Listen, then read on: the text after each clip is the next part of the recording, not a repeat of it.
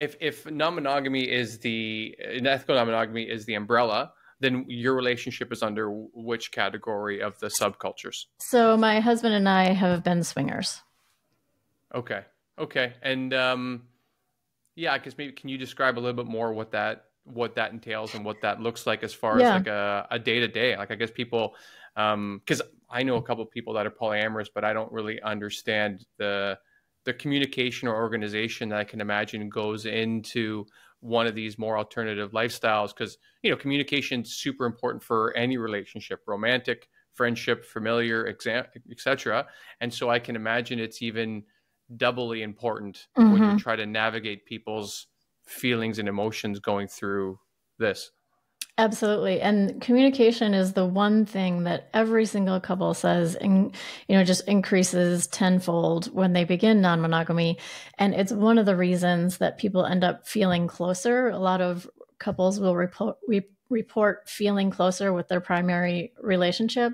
Um, I, I think very much because of that reason, because of the communication has to go up so much. Hmm. Um, but how that looks like for us day to day is we go out with couples. We don't, I mean, could I say, just to add some complexity to the description, there are single people in the lifestyle as well. Um, but I'm just going to talk about more typically. Um, we go out with other couples and you know, basically create friendships and we're usually sexually active with them. Now, you don't have sex with every couple you meet by any means. And so that's why you can kind of think of it as dating. Um, but also, we're not, none of us are in it for a romantic relationship. So it just stays at a casual sex and friendship level. Right. And have you seen a lot of these or some of these relationships end up turning romantic or? You know, because I think some people might argue that once there is that intimacy there, and if there's that attraction, then that's easy for it to lead to something that maybe is more romantic and potentially fracturing that main relationship. Yeah, and that's the fear. That's the that is the probably the biggest fear for everybody when they're coming into non-monogamy for people who hear about non-monogamy. But I have a couple things to that. One is I think we have been misled in this monogamous world to feel that like you said at the beginning this we found this person and now I'm safe. because mm. a lot of people get left and divorced in monogamy as well. It's just that it's not a fear that's on the forefront for us. And I would say in non monogamy, of course, that does bring up more insecurity because we're constantly meeting other people. Does it ever happen? Yes. Is it the norm? No. And um, like I said, most couples that I know, well, you know generally in the community i'm both a coach and have a lot you know have friends in the lifestyle is that it actually brings that primary relationship closer together and you have even more appreciation for your partner. Right.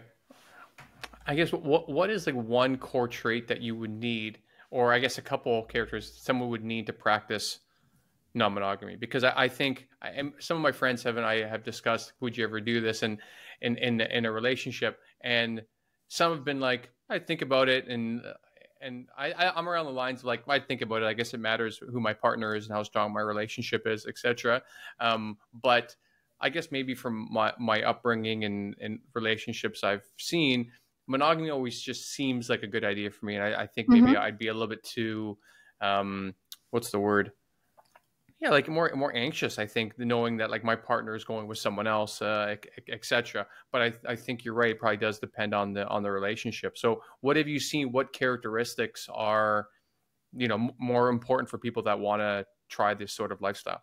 Well here's the most important one and you're already demonstrating it which is self-awareness. So the, being able to check in with yourself and have that internal dialogue of like is this something i want or do i think i have the traits that allow this to happen? That is the kind of dialogue you're having all the time in non-monogamy because you're setting up agreements and boundaries with your partner.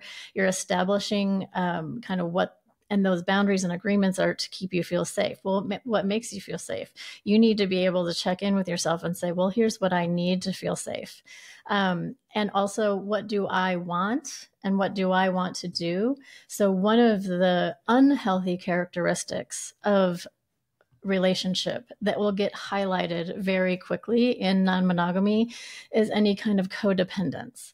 Like, I'm going to do something for you because you want to do this. And that's typically not going to go in a healthy direction. So, very quickly, people get in touch with, like, what do I want? And then that's the conversation. If you want different things, those are, you know, where you have negotiations and things, but you're not just going along with things because that's what your partner wants. Right. That's those conversations sound exhausting. Like I, I mean, yeah, just it's like I mean to have, be happening all the time. That's what some people some have told me that like you're you're constantly reassessing how you feel, how the relationship is, and maybe I need to draw the line of an ideal an idealized monogamous relationship. You know that communication is also important, regardless. Um, so so I, I don't know. It, it just seems like there's an added level of emotional awareness and conversation to be had, and it just seemed like it was just it's so much more. Um, I would argue that it is in the beginning definitely more. It gets easier, of course, the more you're doing it with anything with practice. And I'm also going to argue that most monogamous relationships could benefit from upping their communication as well. And yeah. I think that I especially. I was going to say, I kind of convinced myself that in the middle of that, of my question. I'm like, you know what? Most people in monogamous relationships probably aren't communicating enough as it as it is.